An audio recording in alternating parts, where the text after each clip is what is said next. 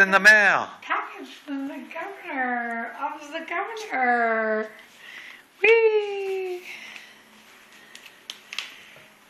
Oh no, now I can't open it. I'm just gonna rip this part because I can't feel my fingers. All right.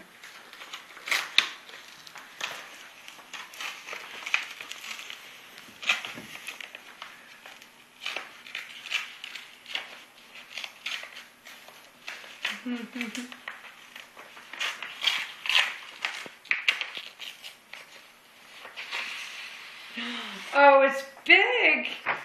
Oh my gosh. Look at this. For the office of the governor. Commonwealth of Massachusetts. Governor Deval L. Patrick. Oh my goodness. Oh my gosh. This is insanely good. Oh man. Okay, Commonwealth of Massachusetts, a proclamation. His Excellency Governor Deval L. Patrick.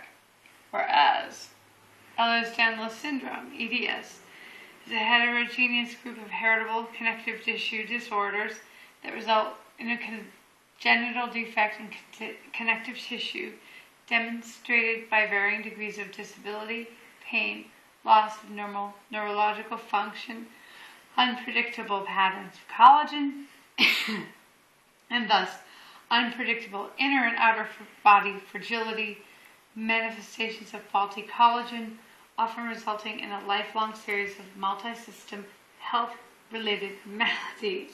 And if I can get through this, okay, whereas it is estimated that 1 in 5,000 individuals worldwide are born with one of the six major types of EDS, whereas the number and severity of symptoms associated with EDS differ greatly from one individual and family to another, as each type of EDS is a distinct, unique disorder, and whereas all forms of EDS are lifelong, incurable, and potentially debilitating, and some types, such as the vascular type, have proven to be particularly life-threatening, with significantly shortened life expectancy, whereas this connective tissue disorder is commonly misdiagnosed may be underdiagnosed and can go undetected for years.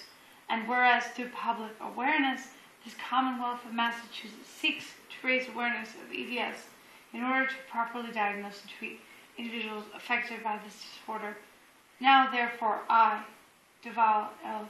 Patrick, Governor of the Commonwealth of Massachusetts, do hereby proclaim May 2012 to be Ehlers-Danlos Syndrome Month and urge all the citizens of the Commonwealth to take cognizance of this event and participate fittingly in its observance.